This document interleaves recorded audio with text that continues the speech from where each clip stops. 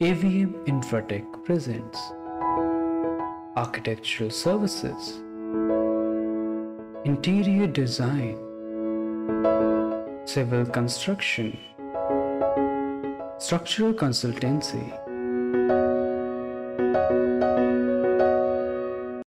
Hello everyone I hope you all are fine and good health तो आज हम आपके लिए लेके आए हैं एक नए टॉपिक पे वीडियो जो कि मुझे मोटिवेट किया कल नेशनल यूनिटी डे ने। राष्ट्रीय एकता दिवस। जी जो थर्टी फ़र्स्ट अक्टूबर को था कल यानी।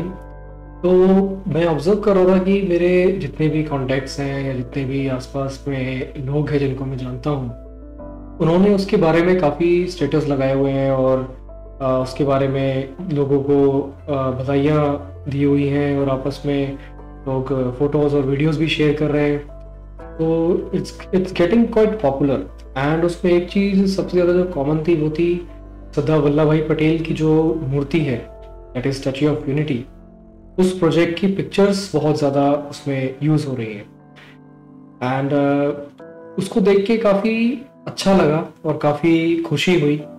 उसका वजह और उसका रीज़न जो है वो ये है कि जो स्टैचू ऑफ़ यूनिटी बनाने में जो आर्किटेक्ट्स की टीम थी उनमें से मैं एक आर्किटेक्ट वहाँ पे था।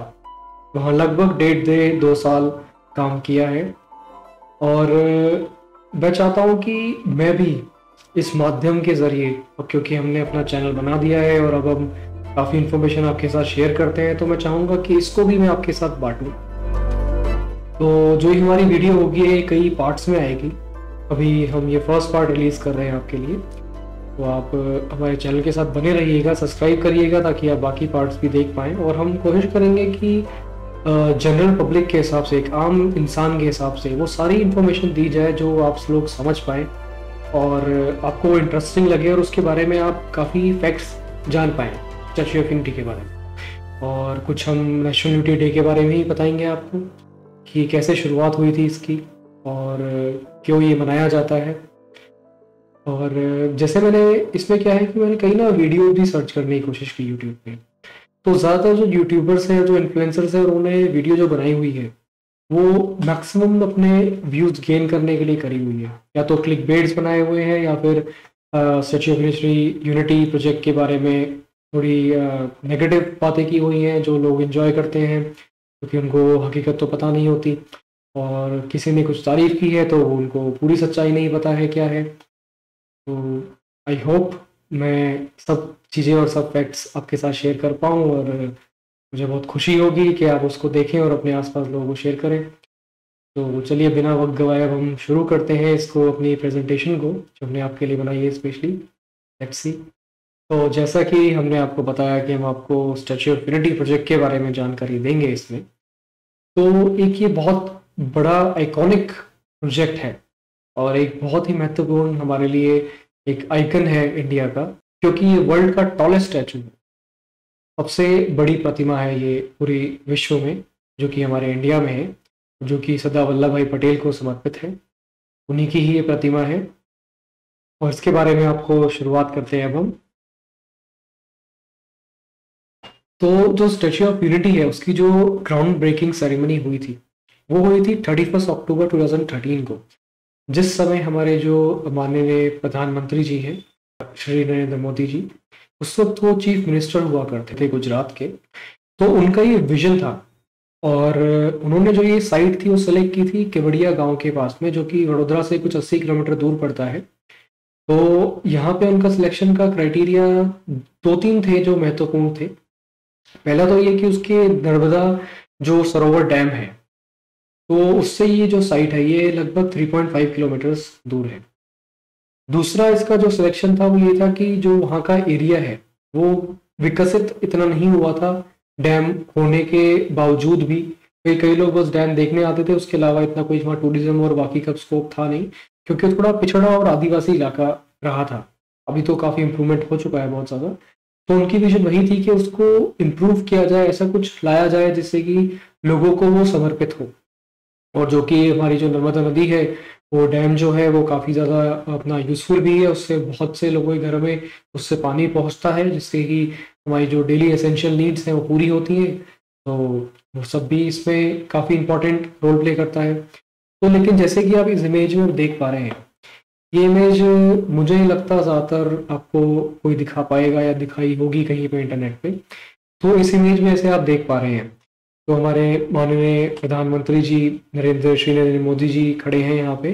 तो जिस तरफ़ फेस करके खड़े हैं एक्चुअली ये साधु बेट कही जाती है, साधु हिल, जहाँ पे अभी स्टैच्यू ऑफ़ यूनिटी बना हुआ है। तो जैसा कि आप इस पिक्चर में और आप अभी ये पढ़ पा रहे होंगे अपनी स्क्रीन पे तो श्री नरेंद्र मोदी जी ने जो आयोजन इसका किया था, अपना जो सरदार वल्लभ भाई पटेल जी को ये समर्पित किया था यूनिटी डे तो उसकी शुरुआत अपनी यहीं से उन्होंने कार्यक्रम की की थी, जिसमें उन्होंने क्या है कि सब लोगों को इसके बारे में जागरूक किया था। और जैसे कि हम कहते हैं सरदार वल्लभ भाई पटेल जी हैं, जो वो अपना सन ऑफ़ सॉइल है मतलब भारत माता से वो बहुत ही ज़्यादा जुड़े थे। और वो सिर्फ़ गुजरात में ही नहीं, पूरे भारतवर्ष में बहुत ही प्रचलित थे, उस उस समय पे। इस समय पे वो अंग्रेज़ों के विरुद्ध में काफ़ी महत्वपूर्ण जो है अपना योगदान दिया था, उस समय पे।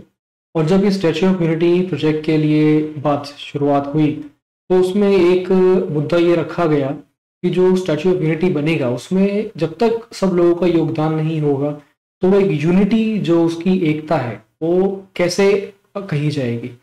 और वो कैसे हम उसको अपना महत्वपूर्ण, उसको इतना बना पाएँगे? तो इसीलिए क्या है कि लोहा कैंपेन शुरू किया गया था और जो रन फॉर यूनिटी है दैट इज़ जो मैराथन है, उसका भी आयोजन किया गया। ताकि लोग इसमें सम्मिलित हों अपना एकजुट होकर इसमें पार्टिसिपेट करें इसमें अपना योगदान दें ताकि सब लोगों को इसके बारे में पता चले और, इसके बारे में ज़्यादा से ज़्यादा लोग जानकारी हासिल कर पाए। तो जो लोहा कैंपेन था उसमें क्या है हमारे माननीय श्री नरेंद्र मोदी जी ने ये अनाउंसमेंट की थी पब्लिकली कि आप जितने भी जैसे हमारे फार्मर्स हैं या आर्टिसंस हैं या जो भी अपना इसमें लोहार हैं जो इंडिया के या जो भी अपना इसमें अपना योगदान देना चाहें तो जो भी आपका लोहा है, जो बेकार हो गया है या आप उसको दान करना चाहते हैं तो वो आप दे सकते हैं। तो उसमें क्या है कि बहुत भारी मात्रा में लोगों ने इसमें पार्टिसिपेट किया था और ये लोहा एक तरह के इकट्ठा किया गया और इसको फिर सरिये में कन्वर्ट किया गया, जो कि अभी जो आप स्टेचू यूनिटी देखते हैं, उसके अंदर सरिया इस्तेमाल हुआ है। उसके अंदर इसमें जो लोहा मिला था, उसका बहुत बड़ा भारी योगदान है। तो उसके बाद से हर साल जो थर्टी फ़र्स्ट अक्टूबर आता है जो कि हमारे सरदार वल्लभ भाई पटेल जी की जो बर्थ एनिवर्सरी है तो उसमें हम उसको रन फॉर यूनिटी और मैराथन के ज़रिए उसमें पार्टिसिपेट करते हैं, क्योंकि जगह जगह आयोजन की जाती है। और आपने न्यूज़ में और अपना न्यूज़पेपर वगैरह में भी देखा होगा कि कई जगह इसका आयोजन किया गया है आई होप आपने भी कहीं पार्टिसिपेट ज़रूर किया होगा। तो जैसे जो आप पिक्चर में देख पा रहे हैं द पीपल्स स्टैचू बहुत ही मेजमराइजिंग इमेज है और ये दृश्य जो है, इसको जितना देखो उतना कम है। मैं तो वहाँ पे उस प्रोजेक्ट में रहा था और हमने ये अपने आँखों के सामने इसको अपना बनते देखा है। तो हमारे लिए तो ये बहुत ही इंपॉर्टेंट और एक लाइफ का एक चेरिशेबल मोमेंट है, जो कि हमसे कोई अब नहीं छीन सकता और हम इसको सबको बहुत गर्व के साथ बताते हैं कि हमने यहाँ पे अपना योगदान दिया था और हम यहाँ पे थे इस प्रोजेक्ट में सम्मिलित थे। अब जैसा कि आप सबको पता है, नहीं पता है तो मैं आपको बताना चाहूँगा कि जो इनमें हमारे जो स्कल्पचर थे, जो आर्टिस्ट थे, वो हमारे राम सुथार जी और उनके जो बेटे हैं, अनिल सुथार, वो इसमें इन्वॉल्व थे। उन्होंने बेसिकली इसको स्कल्प किया था पूरे इसको हमारे सरदार वल्लभ पटेल जी की मूर्ति को। और ये बहुत ही टीडियस और लंबा प्रोसेस था। जब से हमारे श्री नरेंद्र मोदी जी ने इसका ऐलान किया था कि हम ये इस चीज़ को बनाएँगे तो जब ये एल का प्रोजेक्ट अलॉट हुआ और बाकी सबने अपना जॉइंट वेंचर वगैरह बना के और बाकी सब लोग जब सम्मिलित हुए और फिर हमारे स्कल्प्टर्स को अप्रोच किया, राम सुथार जी और उनके बेटे अनिल सुथार जी को तो ये प्रोसेस तब से ये शुरू हुआ था। और इसको रियलिस्टिक बनाने के लिए इतनी ज़्यादा मेहनत की गई थी कि आप इसके बारे में कल्पना भी नहीं कर सकते हैं। अभी हम नेक्स्ट स्लाइड में आपको दिखाएँगे कैसे कैसे इसका प्रोसेस रहा था कि लगभग ये दो से ढाई साल तक ये चला था, इसका अप्रूवल और चेंजेस फिर से चेंजेस और इसमें एक एक ही छोटी चीज़ नहीं थी, इसमें एक एक बारीकियों का ध्यान रखा गया था। चाहे उनके कपड़े हों, चाहे उनके एक जैकेट के बटन हो, चाहे उनके अपने चेहरे की झुर्रियाँ हो तो उन सबको किस तरह रियलिस्टिक दिखाया जाए कि वो आप सबको जब आप नीचे से उसके दृश्य को देखें और मूर्ति को देखें तो बिल्कुल ही रियलिस्टिक दिखे। एकदम हूबहू दिखे कि जैसे सरदार वल्लभ भाई पटेल जी वहाँ पे खड़े हैं।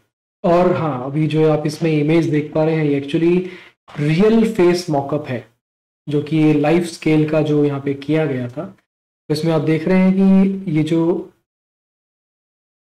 चेहरा है, इसमें प्रॉपर ये बनाया गया था और इसको देखा गया था कि क्या ये बिल्कुल सही आकार में और क्या ये बिल्कुल जो हमारी अपना कल्पना थी जो की गई थी हमारे स्कल्प्टर्स के थ्रू कि वो हकीकत में बयां हो पा रही है नहीं।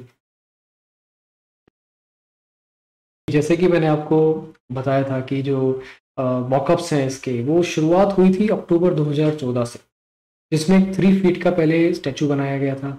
फिर दिसंबर 2014 में 18 फीट का स्टैचू बनाया गया, जो कि करमसद में वहाँ पे लगाया गया, जहाँ सरदार पटेल जी को समर्पित है जगह।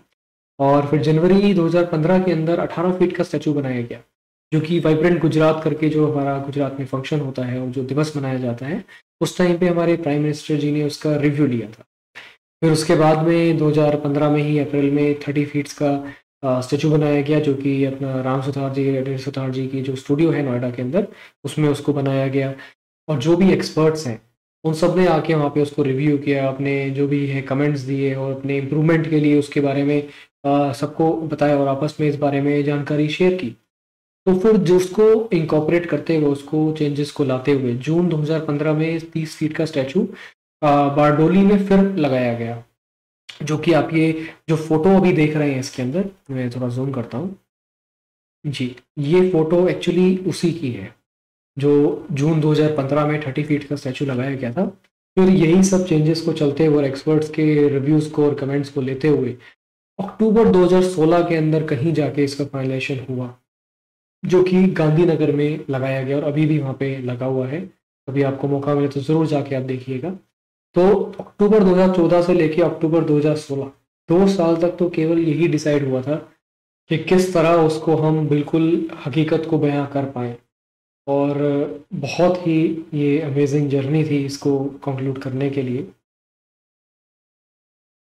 अब जो आप इसमें इमेजेस देख पा रहे हैं और जो हमने अभी स्टेप जो इसमें हमने लिखे हैं एक्चुअली ये इसकी कास्टिंग के लिए है। आ, मुझे नहीं लगता ये आपने कहीं अभी तक देखा होगा सुना होगा या पढ़ा होगा या किसी ने आपको बताया होगा क्योंकि कुछ चुनिंदा लोगों को ही इसके बारे में जानकारी है। और ये मैं आपके साथ आज शेयर करते बहुत ही प्राउड फील कर रहा हूँ कि ये मैं आपको बता पा रहा हूँ कि किस तरह इसको किया जाता था। और आप इसको ये जो स्टेप्स हैं, आप इसको एक बार पढ़ के देखिए कि ये कितने लंबे हैं और कितना ज़्यादा इसमें टीडियस प्रोसेस है। तो जैसा कि आप इस इमेज में देख पा रहे हैं, ये लाइव स्केल पे बिल्कुल स्कैफोल्डिंग्स पे लगा के अपना जो लेबर होते थे वहाँ पे, वो एक एक उनको इंस्ट्रक्शन दी जाती थी कि यहाँ से थोड़ा कम, यहाँ से थोड़ा ज़्यादा। तो बहुत बहुत ही ज़्यादा इसमें बारीकियों का ध्यान रखा गया था एक एक चीज़ को लेके रखा गया है। तो ये जो आप अभी देख रहे हैं बिल्डिंग एंड इंजीनियरिंग मावल ये हमारी वीडियो का सेकंड टॉपिक होगा। इस वीडियो को भी हम यहीं समाप्त करते हैं, क्योंकि ये हम ज़्यादा लंबी नहीं ले जाना चाहेंगे, ताकि आप लोग इसको एंजॉय कर पाएँ, देख पाएँ और शेयर कर पाएँ और थोड़ी दिन अपने अंदर थोड़ी एक्साइटमेंट बढ़ा पाए कि नेक्स्ट पार्ट में क्या आने वाला है। अभी तो केवल हमने आपको एक इसके बारे में परिचय दिया है कि ये क्या है, कहाँ शुरुआत हुई थी, किस तरह रहा था और क्या इसकी स्टेप्स शुरू हुए थे। अभी तो जो रियल इसकी जर्नी है, वो भी शुरू होनी है। हम आशा करते हैं ये पार्ट वन आपको ज़रूर पसंद आया होगा। बाकी हमारी कोशिश रहेगी, बाकी पार्ट्स को हम जल्दी जल्द आपके साथ शेयर करें और इसके बारे में आपको बताएँ। तो आप हमारे साथ बने रहिए, हमारे चैनल को सब्सक्राइब कीजिए वीडियो को लाइक कीजिए और बहुत बहुत इंटरेस्टिंग आपको हम आगे जानकारियाँ देंगे। And I am I am very much sure कि आपने वो कहीं नहीं अभी तक सुनी होगी, ना किसी से आपको पता चली होगी। ऐसी वीडियोज़ ऐसी ऐसी फ़ोटोज़ जो कि सिर्फ़ जो जिन्होंने वहाँ पे काम किया है, उन्हें ही पता है, उन्होंने ही वो उस चीज़ को एक्सपीरियंस किया है। तो अभी मैं आपसे अलविदा लेता हूँ। नमस्कार, आपका दिन शुभ हो।